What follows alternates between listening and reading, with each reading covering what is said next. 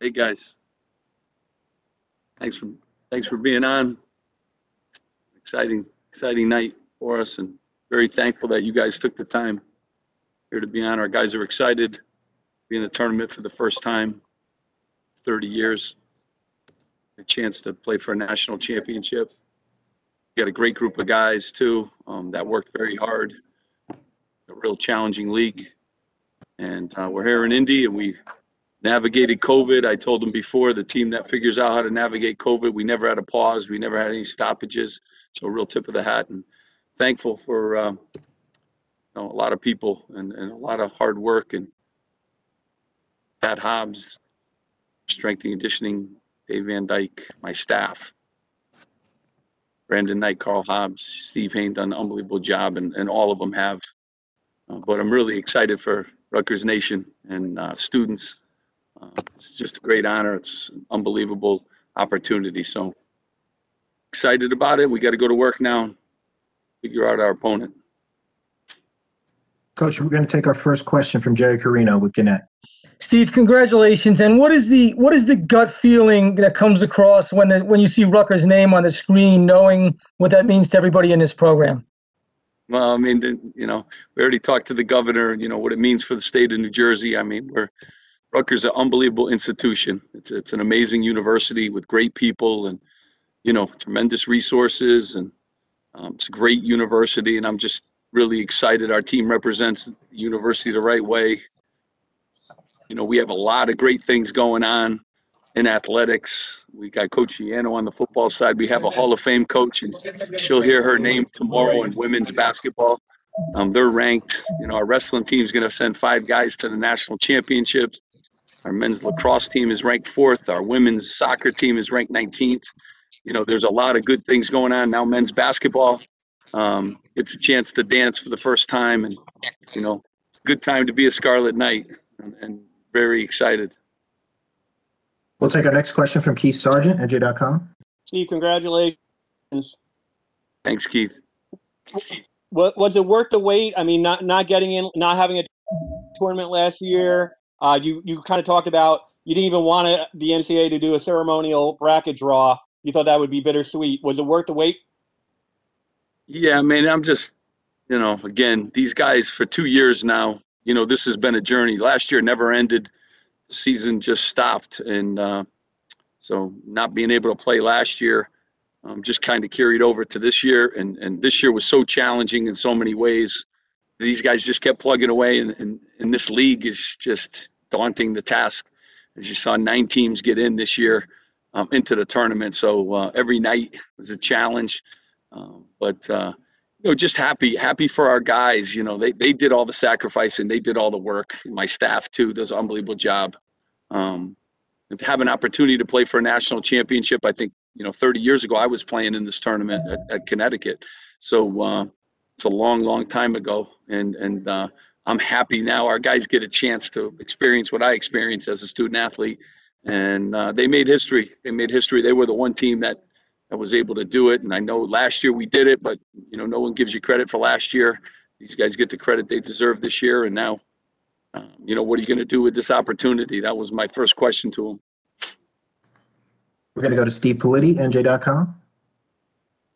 Hey, Steve, again, congratulations. Uh, just a quick follow-up. You said you talked to the governor uh, already. I mean, what, what, when was that conversation? Uh, he's just excited. You know, I said we're Jersey strong, and you know it's a great state. We're the state university of New Jersey, so proud proud to be representing. He is too, and um, you know very thankful that he reached out. And under most circumstances, you'd be back at uh, the RAC and you'd be able to break down film at home. How do you how do you scout an opponent? How quickly do you get the Clemson stuff going? I mean, how does that work from Indianapolis? It uh, started six minutes ago, so we we we'll, have a lot of information. We we have to be quarantined for two two straight tests here, so we're going to be basically in our hotel room. So we'll we'll we'll enjoy for a few minutes, and then we'll uh, do our work. Obviously, playing an ACC team, and you know Clemson. And Brad does an unbelievable job. He's a really good coach. Um, they they they won. They beat two of teams in our league. Um, you know they got good guard play, and then they're a good basketball team. I've seen them already on TV a few times, not knowing we were going to play them, but just the course of watching basketball through the year. So um, always, you know, you get into this tournament, challenging, uh, but uh, you know, excited, excited about the opportunity. Going to go to Ryan Dunleavy, New York Post. Hey, Steve, congratulations. You said, uh, Thanks, you said it's about what you guys do with the opportunity. What can, how dangerous do you think your team is here? I mean, obviously, can you get back to that level you were playing at when you started six and zero and beat Illinois, Maryland, Syracuse back to back to back? Yeah, I mean, we we've played really good basketball, you know, so I feel really good. We're ready for any challenge. I mean, and when you go through 20 games in our league, 20, you know, 22 games counting the tournament, you guys saw how good Illinois is. You guys know how good Michigan is, and those teams. Um, we've seen every style, and uh, we're a confident group. When we defend and rebound, we can play with anybody, and you know we have good players, and we're an exciting team to watch too. So, uh, you know, our guys will you know be be locked in and and ready to play good basketball and play good 40 minutes on both ends of the floor. That's what you do to advance.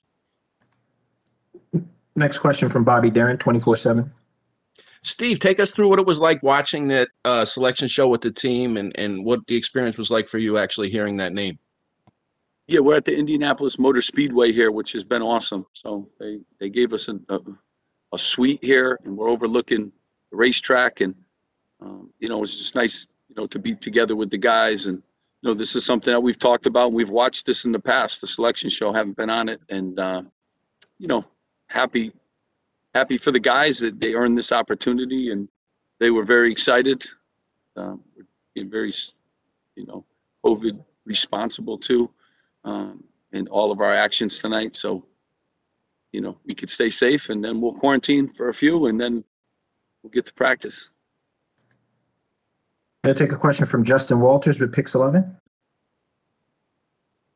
Hey, Steve, congratulations. This was part of your vision plan when you were introduced as the head coach at Rutgers. You said you wanted them to win. Now that it's come full circle, what has been the most rewarding part? And then a two parter how will you learn from the last experience with Stony Brook that hopefully will help you out this go around in the tournament? Well, you know, I'm real thankful. We had Joey Downs, our seniors from last year, on, on a FaceTime with us too, and Shaq Carter, and couldn't get Akwasi, but those guys are a big part of this because they were part of last year's team, which which would have gotten in. Uh, so we wanted to make them a part of it. They weren't able to come here and share the time with us, but you, you know, we were able to get them, you know, to to share it with us when we got announced. Um, you know, I I played in it as a player in the tournament and got a chance to coach as an assistant coach in the tournament and as a head coach. You, you know, it's it's always an unbelievable, you know, opportunity and you know told our guys that. Every team i've been on what what are you going to do with this opportunity? That's what the question has to be answered. And uh, we got to do a great job of preparing. My staff will you know these guys like i said to you brandin knight karl hobbs steve Hayn are, really good. Uh, they'll do a great job digging in and we'll have a good game plan. Again we're playing a really good team. You got to play well when you're in the tournament uh, but I think your past experiences, you want to share those with, with your team. And, and I've been fortunate as a player to play in it and, and coaching it. And I'll share those ideas with our guys. We'll let them tonight enjoy a little bit and, uh, and, and, uh, we'll, we'll get ready to play on Friday. We're going to go to Otis Livingston with CBS 2. Congratulations, coach. Otis, good, good to see you. Yeah, you too. Um, for your returning players, how much were they driven by making it to the tournament last year and not being able to play in it, but uh, driven to, to do that this season? And how confident are they going into this? Like you said, you're playing up against an ACC tournament in Clemson. I mean, you know, I think you have to be. They were driven last year. I mean, we had to win every game last year. This year, the same thing. Every game, you got to win. You got to win. You got to win. They, they've been through all that stuff. Um, confidence is never a problem with this group. Hasn't been for two years. Um, sometimes we decided what we got to do to win.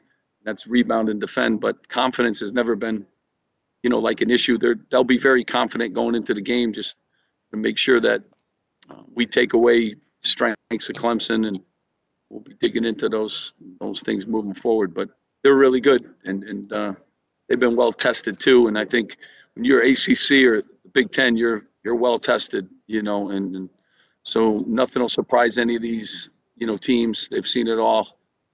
We got to make sure that you know our guys are ready. And we have veteran guys too, so Yeah. uh, we have some older guys that have never played in the tournament, but they're older guys. They've been through through the ringer a little bit. All right. Congratulations. Good luck. Thank you. Coach, we appreciate the time. We're going to take one more question. We're going to go to Aaron Breitman with On the Banks. Aaron, Hey, coach, congratulations. Thank you. Uh, wanted to ask about your relationship with Pat Hobbs and what his support has meant to you through this journey and how much the support of the university has helped you get to where you are right now today. Well, I tell you, you know, President Holloway, Pat Hobbs, you're only as good as your bosses up above. They both share the same vision. You know, president, the president wants to, you know, win, but he wants student athletes to have a great experience. He wants, you know, good student athletes academically.